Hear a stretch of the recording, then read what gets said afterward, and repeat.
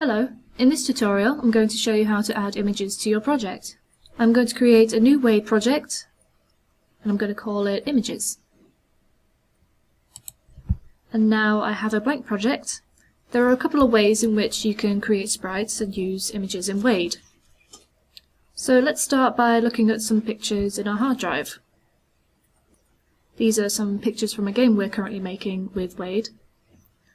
So let's just take this Jungle Book picture and this library picture and I'll just drag them into this area here. So as you can see they now appear in the list of files I have for my project. These files are still on your hard drive but they are now in a special location inside the browser cache. So basically this means you can even delete the source images because they are not going to be used directly anymore.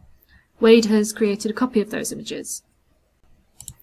Now to add these pictures to the game, I'll just take one and drag it up here. Now this has created a new scene object. As you can see, it's called scene object 0. Actually, let's resize this so we can see a bit more of the picture. As you can see, this scene object has a sprite, and this sprite is using an image called junglebook.jpg. Obviously, I could change this image field here, and this would change the image that appears in the scene. So if I type library.jpg, it's going to switch to this other image. But actually I kind of like the Jungle Book picture better, so I'll go back to that one. Okay, so this is one way of doing it. The other way involves just getting images straight from the internet. So I could create a new scene object by clicking new scene object and this creates a white square which is normal. Now let's just make it a little bit bigger.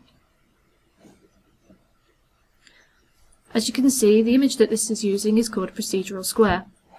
This is an image that has been procedurally generated by Wade and yes there are a certain number of procedural images you can use. For example we can use a procedural star. But we could also go onto Google and look for a chili pepper, for example. Go to images.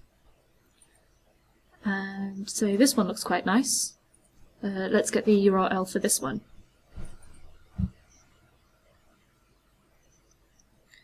Now I'll just copy this URL and I'll paste it into the image field here. So as you can see it's actually using the image directly from its source here. It's not even part of our project, it's just downloaded off the internet. I wouldn't recommend doing this in general. It's probably much tidier to use, well, keep all your files inside your project, uh, but it could be useful sometimes, especially if you don't want to add too much to the size of your project, or maybe save on the bandwidth or something like that. There are cases where this could be useful.